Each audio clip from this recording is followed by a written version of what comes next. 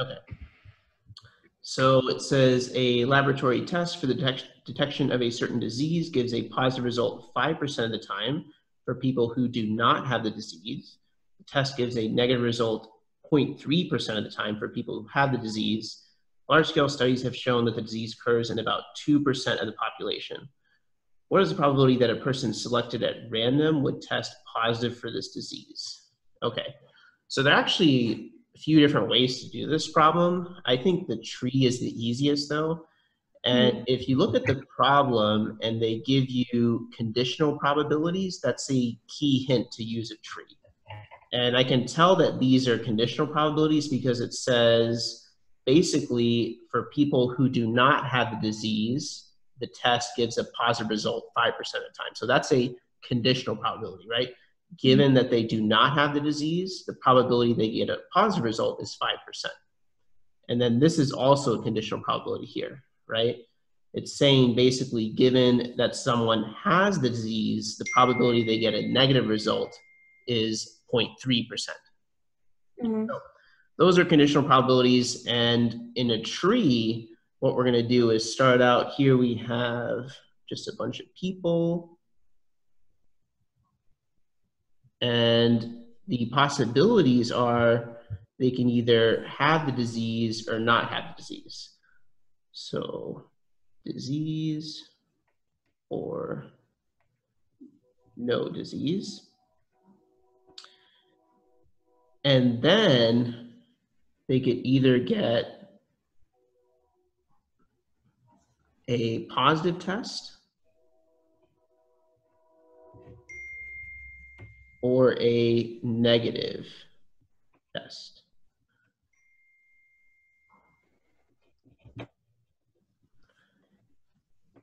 And you know, uh, one thing is it might be unclear like why I'm putting disease first and then test second, right? You might want to put test and no or uh, positive test and negative test here, and then disease and no disease here. But the key thing is the conditional probabilities; those go on the second level of the tree, right? Mm-hmm. So the first level, those are just going to be the standard probabilities. It tells me that the disease occurs in about 2% of the population. So that's not a conditional probability. It did not give me a condition there.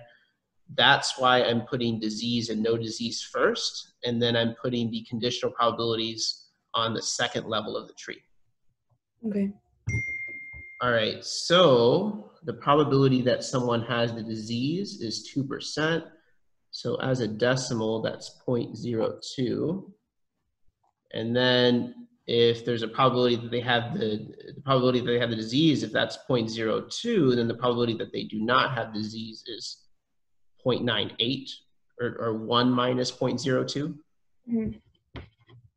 And then we can look at the second level of the tree. So it tells me the test gives a positive result 5% of the time for the people who do not have the disease. So I'm looking at this part of the tree, the people mm-hmm. who do not have the disease. And they get a positive result 5% of the time. So here, for positive result, we're going to have 0.05. And if they get a positive test 5% of the time, they get a negative test 95% of the time. 1 minus 0.05 is 0.95. Mm-hmm. And then for the people who have the disease, it says the test result or the test gives a negative result 0.3% of the time for people who have the disease. So now we're looking at these people. So it gives a negative test result 0.3% of the time. 0.3% is a decimal, it's 0.003. And then 1 minus 0.003 is 0.997. So that's the probability that someone who has the disease gets a positive test. Okay, so that's the tree. And what they're asking for here is what is the probability that a person selected at random would test positive for the disease? So we're just looking at people who would test positive. And before you do that, it can be helpful to calculate basically all these and probabilities out here And what I mean is the probability that someone has the disease and gets a positive test, the probability that someone has the disease and gets a negative test. So let's try that. Um, I'm just going to use some abbreviations here. So I'm going to say, so let's say let D equal the event that someone has the disease. And then let T equal the event that someone gets a positive test result. Positive test. Okay. So then what I can do here is calculate these and probabilities by multiplying along the branches of the tree. So the probability that someone has the disease and gets a positive test, this is the symbol for and, um, it's the intersection symbol, and that's gonna be these two probabilities multiplied together. So 0.02 times 0.997. And then the probability that someone has the disease and gets a negative test. So we could represent negative test with T, and then this subscript here means complement. So basically the complement of T is the opposite of T. The mm. opposite of a positive test is a negative test. But that's how we can write it. So 0.02 times 0.003 And similarly here, we would write uh, no disease as D with a little c, because that's the complement of D. The complement that someone has the disease is that they do not have the disease. And then and positive, so 0.98 times 0.05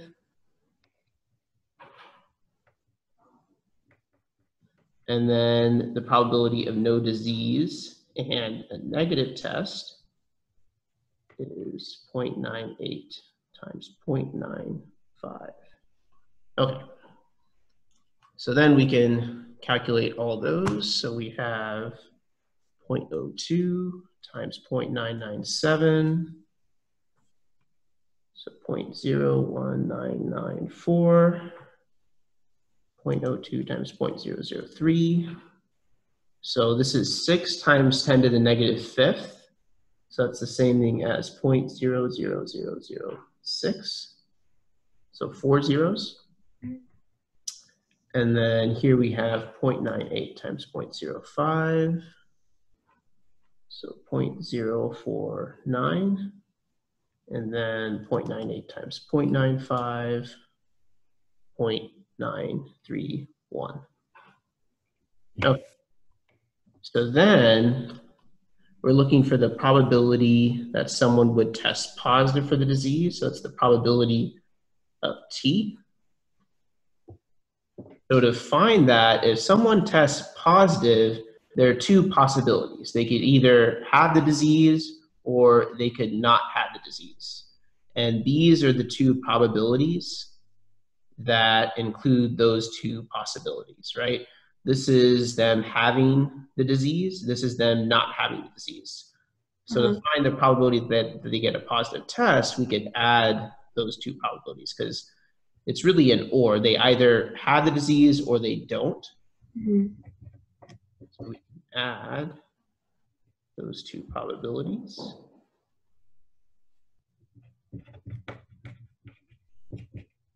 Okay, and also notice on the tree, those are from the branches ending with positive tests. So that's why we're adding these two probabilities, so 0.01994 plus 0.049. So 0.01994 plus 0.049. There we go, 0.06894. So that's the probability of a positive test. Okay, and then we can look at part B. So part B says, what is the probability that a person selected at random who tests positive for the disease does not have the disease? So this is a conditional probability. The condition here is that the person tested positive for the disease, right? So given that they tested positive for the disease, what's the probability that they do not have the disease? Mm-hmm. So we could write that as do not have the disease, that's this, the complement of having the disease, given that they tested positive. So that's the probability that we're looking for, the probability that they do not have disease given that they had a positive test. So to find this probability, you could use your formula sheet. There's a convenient formula for the conditional probability, right? So this formula here, we can basically apply that. So the probability of the complement of D given T is the probability of the complement of D and T given by the probability, or sorry, divided by the probability of T. Okay, so that's how we can calculate that conditional probability. And I have this information, this, this numerator from the tree. What I found was the probability of complement of D and T, that's this probability right here, 0.049. So we have 0.049 in the numerator, and then this is just from part A, so 0.06894. Okay, so 0.049, and I already have 0.06894 in the calculator. So there we go. 0.71 zero, eight. So that's the probability that someone who tests positive does not actually have the disease.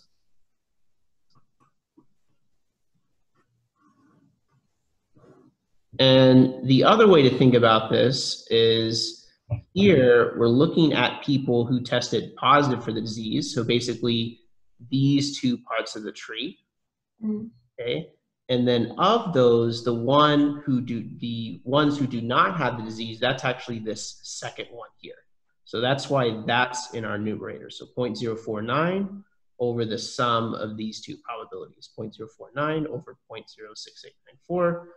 And when you think about that, that's kind of a high probability. So basically, if you get tested positive for the disease, it's actually more likely that you do not have the disease than you do, which is kind of interesting. Okay.